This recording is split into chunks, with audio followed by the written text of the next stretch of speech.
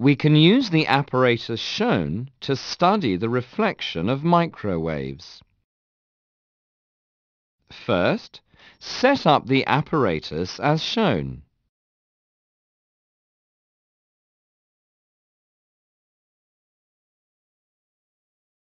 Then, switch on the power supply to direct microwaves onto a plane reflector. Now, move the receiver as shown. It gives the highest reading when it is placed along the path of the reflected microwaves.